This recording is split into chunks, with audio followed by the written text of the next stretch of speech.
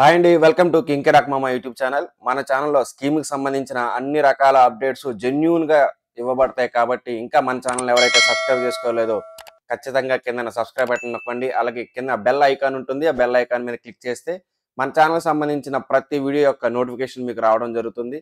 దాన్ని బట్టి మీరు ప్రతి స్కీమ్కి కానివ్వండి ప్రతి అప్డేట్ కానివ్వండి అప్డేట్లో ఉండడం జరుగుతుంది. ఇక ఈరోజు మనం ఈ వీడియో చేయడానికి కారణం కొత్తగా వైఎస్ఆర్ బీమాలో కొన్ని అప్డేట్స్ అనేది రావడం జరిగిందండి. ఆ అప్డేట్స్ ఏంటనేది తెలుసుకుందాము. అలాగే రెన్యువల్ ప్రాసెస్ ఏ విధంగా చేయాలి? న్యూ ఎన్రోల్మెంట్ ఏ విధంగా చేయాలి? అసలు ఈ వైఎస్ఆర్ బీమా యాప్ అనేది ఏ రకంగా చేయాలి? కొత్త రూల్స్ ఏంటి? ఇప్పుడు స్టార్ట్ అవుతుంది. ఈ చివరి తేదీ ఏంటి? ఇలాంటి అన్ని రకాల విషయాలు ఈరోజు మనం మాట్లాడబోతున్నాం. ఇంకా ఆలస్యం చేయకుండా వీడియోలోకి అయితే వెళ్దాం. వెళ్ళే ముందు ఒక్కసారి కింద సబ్స్క్రైబ్ బటన్ అయితే ఖచ్చితంగా క్లిక్ చేయండి. వైఎస్ఆర్ బీమాకి సంబంధించి కొత్తగా యాప్ అనేది రిలీజ్ అవ్వడం జరిగిందండి. వాలంటీర్స్ అందరికీ ఈ వైఎస్ఆర్ బీమా యాప్లో ఫస్ట్ మొదటగా వాలంటీర్ తమ యొక్క ఆధార్ని ఎంటర్ చేసి ఈకేవైసీ చేసిన తర్వాత ఇలా యాప్ అనేది చూపించడం జరుగుతుంది లాగిన్ అవ్వడం జరుగుతుంది. లాగిన్ అయిన తర్వాత మనకి ఈ రెండు రకాల ఫేజెస్ అనేవి కనబడతాయి. ఒకటి రెన్యువల్ ఇంకొకటి న్యూ ఎన్రోల్మెంట్. న్యూ ఎన్రోల్మెంట్ గురించి తర్వాత మాట్లాడదామండి. ఫస్ట్ రెన్యువల్ గురించి చూద్దాం. ఈ రెన్యువల్ ప్రాసెస్ ఏ రకంగా ఉంటుందంటే రెన్యువల్ మీద క్లిక్ చేసిన వెంటనే మీకు మీ హౌస్ హోల్డ్లో ఉన్న లిస్ట్ ఆఫ్ మొత్తం అందరి డీటెయిల్స్ అనేది రావడం జరుగుతుంది రైస్ కార్డ్ నెంబర్తో. అప్పుడు మీరు ఎవరైతే పర్సన్కి మీరు సర్వే చేయాలనుకుంటున్నారో ఆ పర్సన్ యొక్క మీద క్లిక్ చేసి కానీ మీకు ఈ రకమైన స్క్రీన్ అనేది కనిపిస్తుంది. ఈ రకమైన స్క్రీన్లో ఆ రైస్ కార్డ్ యొక్క నెంబరు పాలసీదారుని యొక్క Aadhaar digit next phone number అతని పేర్లు ఇవన్నీ కనిపిస్తాయండి. ఎవరైతే పాలసీదారుడు ఉన్నారో వారు బ్రెడ్ అన్నారనా? అంటే వారు సంపాదించే వ్యక్తేనా అని అడుగుతుంది. అంటే కుటుంబానికి సంపాదించే వ్యక్తి అతనేనా అని అడుగుతుంది. కుటుంబానికి సంపాదించే వ్యక్తి అతనే అయితే అతని చేత మీరు ఈకేవైసీ చేయించవలసి ఉంటుంది. ఈకేవైసీ చేయించగానే అతని మిగి- మిగిలిన డీటెయిల్స్ అంటే తండ్రి పేరు డేట్ ఆఫ్ బర్త్ పాలసీదారుని యొక్క లింగము అతని కులము కుల వర్గము వృత్తి ఏం చేస్తున్నాడు వృత్తి రకం ఏంటి అతని జిల్లా మండలం గ్రామ సచివాలయం. ఈ డీటెయిల్స్ అన్నీ వస్తాయి. ఈ డీటెయిల్స్ అన్ని అవును అయితే అవును అని క్లిక్ చేసి నెక్స్ట్కి వెళ్ళాలి.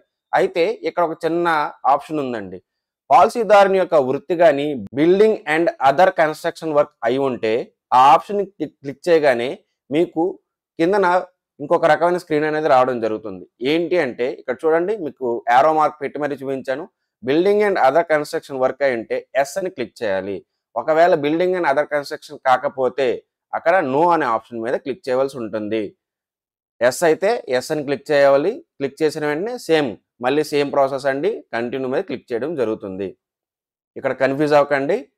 పాలసీదారుని యొక్క వృత్తి నార్మల్ అయితే అంటే building and other construction work కాకుండా మిగిలిన వర్క్లు అయితే ఈ రకమైన ఆప్షన్ ద్వారా క్లిక్ చేసి డైరెక్ట్గా మిగతా ప్రాసెస్ అంతా చేస్తారు.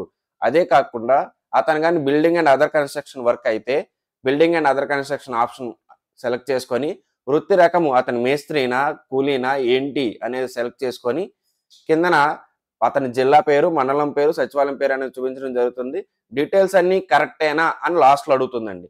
అంటే డీటెయిల్స్ అన్నీ సరిపోయినాయా అనే ఆప్షన్ అడుగుతుంది. సరిపోతే అవును మీద క్లిక్ చేసి కంటిన్యూ కొట్టాలి. సరిపోకపోతే కంటిన్యూషన్ వీడియోలో చెప్తారండి సరిపోతే ఇక్కడ సరిపోతే అనే ఆప్షన్తో వెళ్దాము.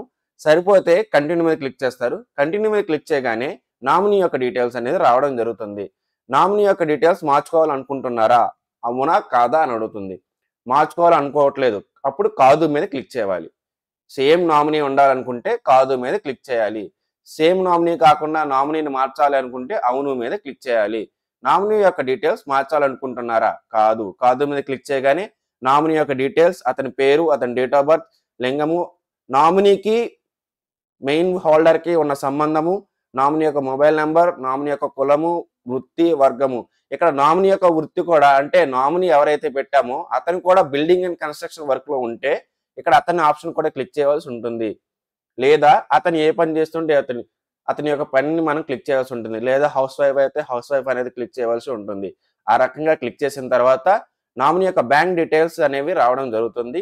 నామినీ యొక్క బ్యాంక్ డీటెయిల్స్ వచ్చిన తర్వాత మనము తమ్ము నామినీ యొక్క తమ్ము తీసుకోవాల్సి ఉంటుంది. ఎప్పుడు నామినీ అవైలబుల్గా ఉంటే నామినీ యొక్క తమ్ము తీసుకోవాల్సి ఉంటుంది. నామినీ అవైలబుల్గా లేకపోతే నామినీ అవైలబుల్గా లేరు అని చెప్పి వాలంటీర్ యొక్క ఈకేవైసీ చేయవలసి ఉంటుంది.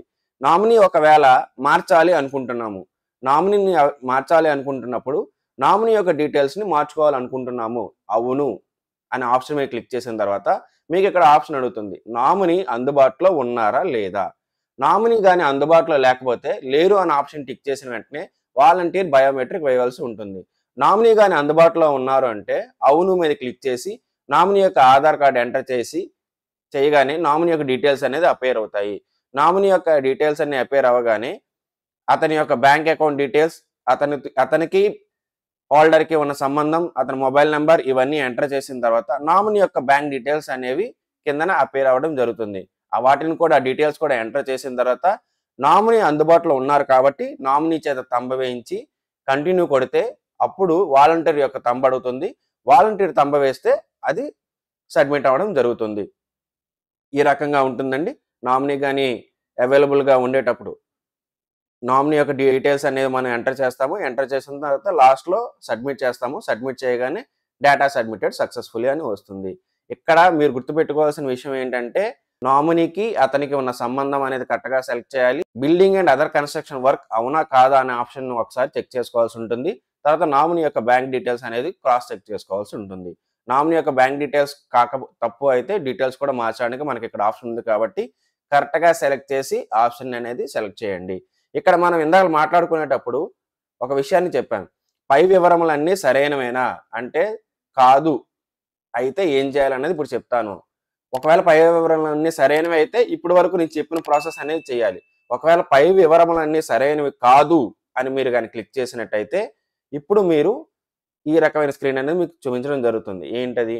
పై వివరాలన్నీ సరైనవి కాదు కాబట్టి మరలా సర్వే చేయాలనుకుంటున్నారా?